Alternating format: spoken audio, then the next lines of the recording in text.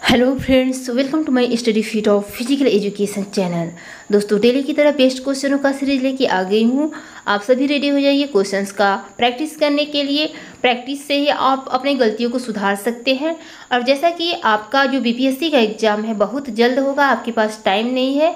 और ईएमआरएस का एग्ज़ाम होगा, जो भी प्रिपरेशन कर रहे हैं आप फ़िज़िकल एजुकेशन कंपटिशन एग्ज़ाम से रिलेटेड चाहे यूपी का हो, चाहे किसी भी स्टेट का हो टीजीटी पीजीटी हो, या K V S N V S हो, मेरे चैनल पे सभी प्रकार के टॉपिक वाइज सिलेबस के according theory session MCQ previous year question one liner question chapter wise question सभी चीज़ें अवेलेबल है। चैनल के प्लेलिस्ट में जाइए और चेकआउट कीजिए और प्रिपरेशन कीजिए।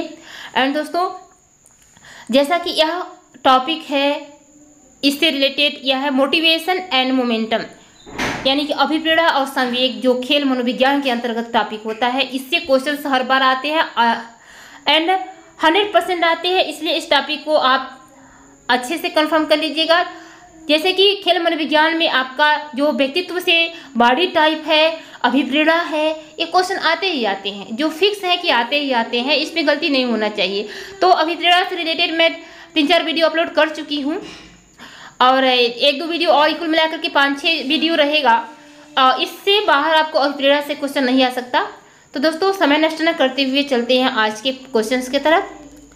क्वेश्चन है कि आपको मिलान करना है, तनाव क्या है, चिं, क्रोध, कुंठा, चिंता, ये सब क्या है?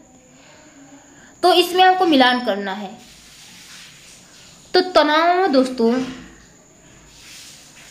ए का टू हो जाएगा। मानसिक और स्नायु संबंधी दबाव का अनुभव है। तनाव क्या है? मानसिक और स्नायु संबंधी जो दबाव होता है, उसका अनुभव तनाव, यानी कि तनाव होता है। बी है क्रोध। क्रोध क्या है? तो क्रोध है आपका बी का थ्री हो जाएगा।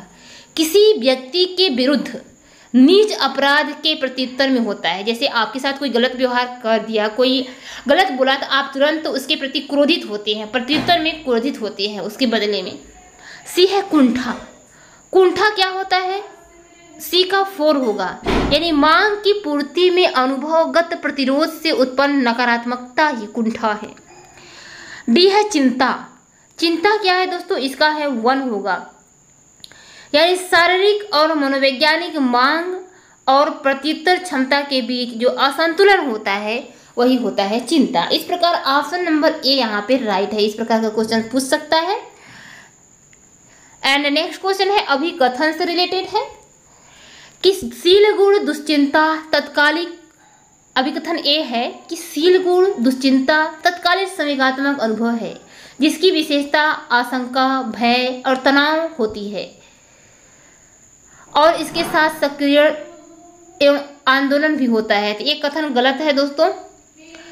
तर्क आ रहा है कि इस स्थिति का अनुभव कतिपय वातावरणीय परिस्थितियों को तनावपूर्ण समझने की व्यक्तित्व स्ववृत्ति के कारण और बढ़ी हुई दुश्चिंता के साथ इन परिस्थितियों के प्रति प्रतिक्रिया के कारण होती है। तो आपका आर सही है। यानी कि ए गलत है और आर सही है। ऑप्शन नंबर डी यहाँ पे राइट है। एंड दोस्तों, एक पाँच सौ उनचास नंबर का क्वेश्चन आपको पढ़ने की ज़रूरत नहीं है। एंड नेक्स्ट क्वेश्चन है। अभिकथन से ही रिलेटेड है।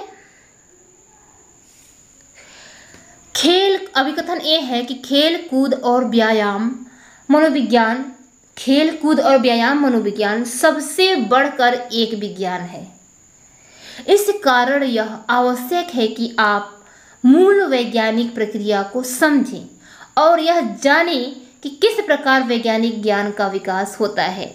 तो ये सही लग रहा है?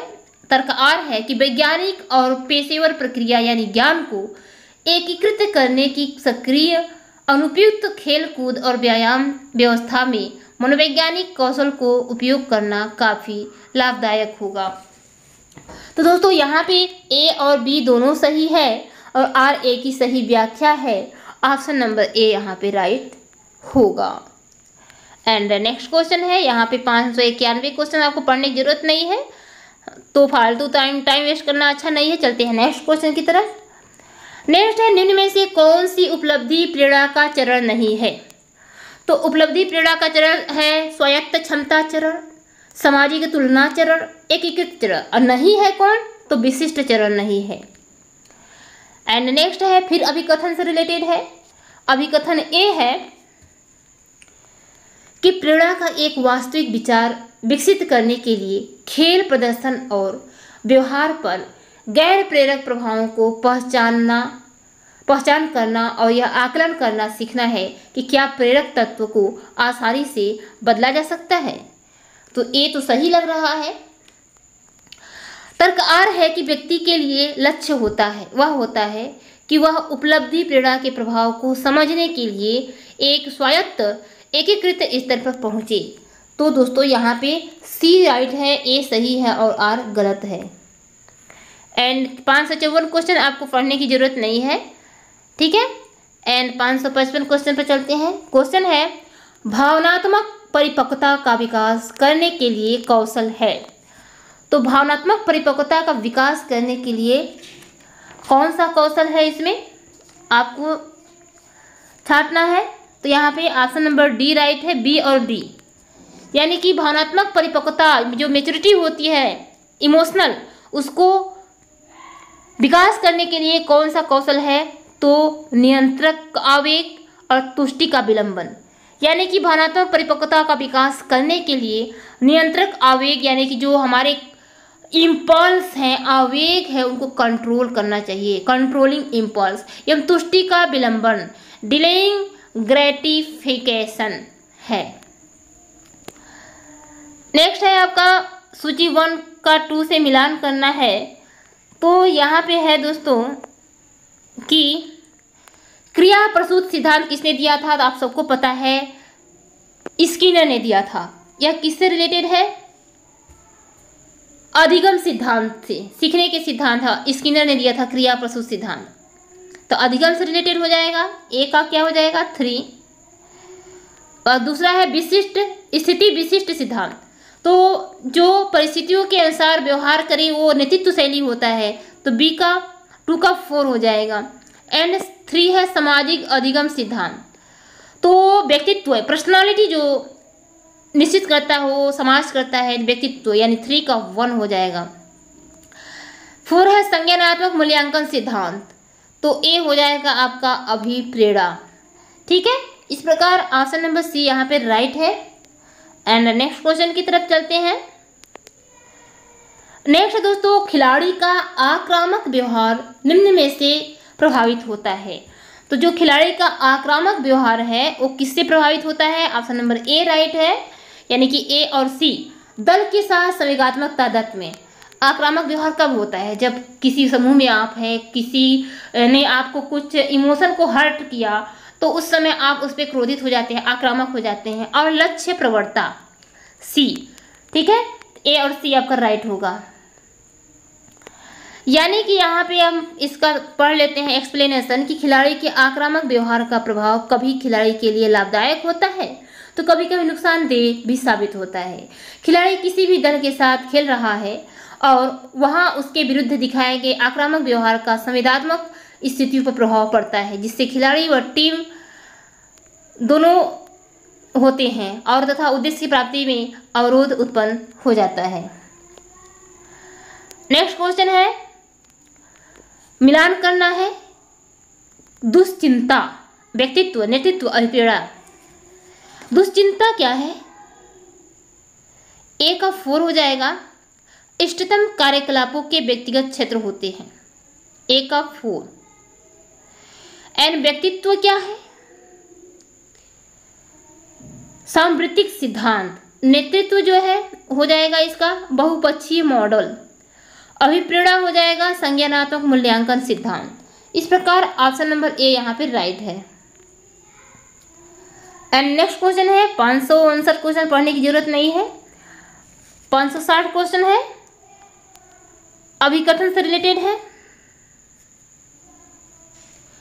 कि मल्टी डायमेंशनल अभिकथन ये है कि मल्टी डायमेंशनल एंजाइटी थ्योरी में भविष्यवाणी की जाती है कि ज्ञानात्मक स्थिति चिंता निष्पादन से नकारात्मक रूप से जुड़ा हुआ है, परंतु सोमेटिक स्थिति की चिंता निष्पादन से इन्वर्टेड वी रीति से जुड़ा हुआ है। तर्क आर है कि निष्पादन निर्वचन सकारात्मक और नकारात्मक से प्रभावित होता है, न कि सक्रियता की मात्रा से। तो दोस्तों, यहाँ पे आपका राइट हो जाएगा कि ए और आर दोनों सही हैं और आर ए का सही व्याख्या नहीं है। तो कौन सा ऑप्शन नंबर ए यहाँ पे राइट है? नेक्स्ट क्वेश्चन है कि खेल मनोविज्ञानी भरोसा, सम्मान और विश्वसनीयता कैसे हासिल कर सकता है? तो एक खेल मनोवैज्ञानिक जो होता है, भरोसा, सम्मान और विश्वसनीयता कैसे हासिल कर सकता है? तो वह आसन नंबर सी यहाँ पे राइट होगा। गोपनीयता की सीमा स्थापित करके कर्तव्य स्पष्ट करके और समय सीमा स्वीकार करके भरोसा, सम्मान और विश्वसनीयता को हासिल कर सकता है। यानी कि किसी खेल में खेल मनोविज्ञानी भरोसा, सम्मान और विश्वसनीयता और गोपनीयता की सीमा स्थापित करके, कर्तव्य स्पष्ट करके, समय सीमा स्वीकार करके खिलाड़ी की विश्वसनीयता को हासिल कर सकता है। एंड नेक्स्ट क्वेश्चन है कि अभिप्रेरणा का सुदृढ़ीकरण सिद्धांत किसके द्वारा दिया गया? तो दोस्तों, अभिप्रेरणा का सुदृढ़ीकरण सिद्धांत जो है, वह किसके द्वारा दिया गया? तो पिछले वीडियो मैंने बताया था कि अभिप्रेरणा का सुदृढ़ीकरण सिद्धांत किसने दिया था? तो स्कीनर ने दिया था। और अभिप्रेरणा का आवश्यकता सिद्धांत जो है, वो मैस्लो ने दिया है। तो अभिप्रेरणा का सुदृढ़ीकरण सिद्धांत स्कीनर द्वारा दिया गया। अधिगम में अनुक्रियाओं पर जो अभिप्रेरणा का प्रभाव पड़ता है, उसकी व्याख्या के लिए स्किनर ने सुदृढ़ीकरण सिद्धांत की अवधारणा का आश्रय लेता है। स्किनर के अनुसार जो भी अनुक्रिया सुदृढ़ीकरण तक पहुंचाएगी, वही सुदृढ़ होगी। एंड नेक्स्ट क्वेश्चन है, व्यवहार का कोई भी रूप का उद्देश्य अन्य जीव को नुकसान पहुँचाने या घायल करने का लक्ष्य है, किसके रूप में जाना जाता है?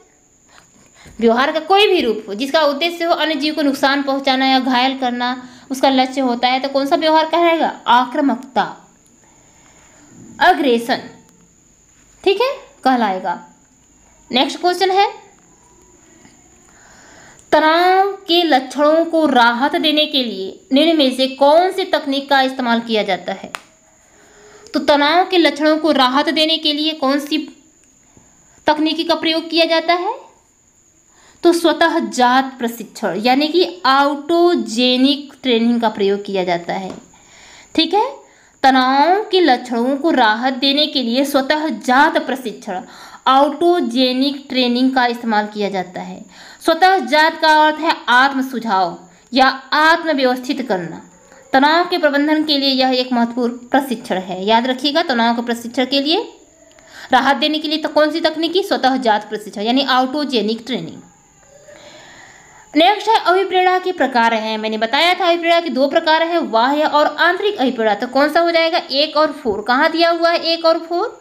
ऑप्शन नंबर डी में। जैसा कि आप जानते हैं, यहाँ पे दिया हुआ है बाह्य और आंतरिक अभिप्रेरणा। अभिप्रेरणा दो प्रकार का होता है बाह्य और आंतरिक अभिप्रेरणा। जैसे पिछले वीडियो में मैंने इसके बारे में डिटेल में बताया है। तो वह अभिप्रेरणा क्या होता है? वह अभिप्रेरणा व्यक्ति स्वयं अपनी इच्छा से किसी कार्य को नहीं करता, वह है अभिप्रेरणा में जब खिलाड़ी यह सोचकर प्रदर्शन करता है कि कुछ इनाम मिलेगा तो यह वह अभिप्रेरणा होता है। जैसे कि वह अभिप्रेरणा को द्वितीयक या सेकेंडरी मोटिव कहते हैं, जिसे नकारात्मक अभिप्रेरणा भी कहते हैं। यह जन्म से विद्यमान नहीं होता अभी तो जन्म के पश्चात धीरे धीरे अपना रूप लेता है, जैसे अपनत्व, प्यार की भावना, पुरस्कार, दंड एंड आवश्यकता ये सभी होंगे। एंड दूसरा है आंतरिक अभिप्रेरणा, जिसे प्राथमिक अभिप्रेरणा, सकारात्मक अभिप्रेरणा भी कहते हैं। आंतरिक अभिप्रेरणा में किसी कार्य को करने के लिए वाह्य उद्दीपन की आवश्यकता नहीं होती। प्राणी स्वयं कार्य करता है। यह अभिप्रेरणा प्राणी में स्वयं निश्चित होता है, जन्मजात होता है, जन्म से विद्यमान होता है। जैसे भूख, प्यास, दर्द, मुक्ति नींद, आराम आदि। नेक्स्ट क्वेश्चन है, निम्न में से कौन सा अभिप्रेरणा का पक्ष नहीं है? तो दोस्तों, आवश्यकता है, प्रेरणा है, प्रेरित करना है, बट सहानुभूति नहीं है सिंपैथी कभी अभिप्रेरणा नहीं हो सकता। यानी कि सहानुभूति अभिप्रेरणा का पक्ष नहीं है। क्या क्या है?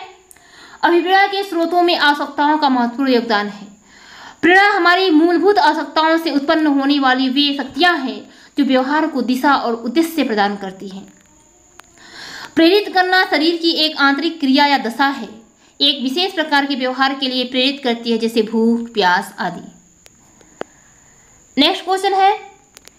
अभिकथन से रिलेटेड है। अभिकथन ये है कि अच्छे निष्पादन के लिए एक अत्यधिक महत्वपूर्ण कारक क्या है? अभिप्रेरणा है।